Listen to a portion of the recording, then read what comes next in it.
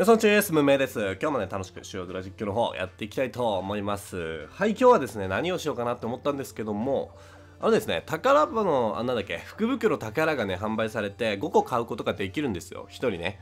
で、そのね、宝袋、宝袋ってね、宝塚みたいな。えそのね、福袋をね、5個、一気に、まあ、時短して、どれぐらいメダルがもらえるのかっていうのをね、見ていきたいと思います。よし、やっていこう。まあ、今ね、ミノタウルスとかクモとかまだ装備できてないので早めに作りたいなみたいなところでね。よし。よし作っていこう。おおレアバター50枚。美味しいね。よし。連打連打連打連打。序盤はね多分ね70何枚とかなんだろうなきっと。おそうでもない。ああああ美味しい美味しい美味しい。96枚。美味しいですね。レアバターがこれぐらいだけもらってこんだけねもらえたならまあ上々ですよ。上々。いこう。2回目。あーレアバターなんか30名なんか渋ってきたなおい。渋ってきたな機械。コンピューター。おい白ドラのコンピューター。渋ってきたなお前。おおおおおおこれいいんじゃない？これいいんじゃない？どんどんねなんかメダルの枚数増えてってる。次はね多分150枚とか来るよ絶対。来るよ俺は。信じてるよ。いやこれ絶対来るよこれ。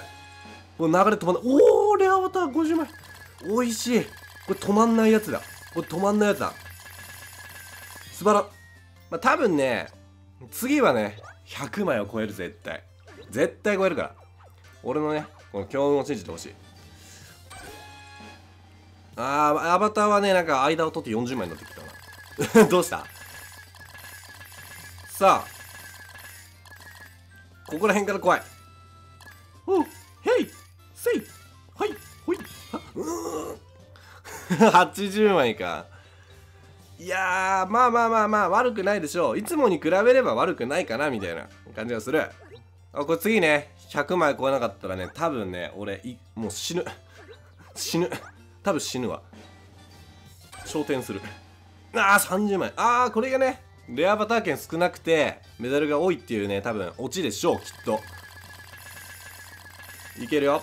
タッタッタッタッタ Give me your, give me your, give me your attention, baby. はいというわけで今回はね結構多かったね。よかったよかった。と思う。まあ、総合的に見ればよかったんじゃない？これ多さ的にも。まあいいんじゃないかなとは思います。はいこんなところでねちょっと動画が早く終わってしまうんですけども、まあ、いつもの恒例のね、動画でした。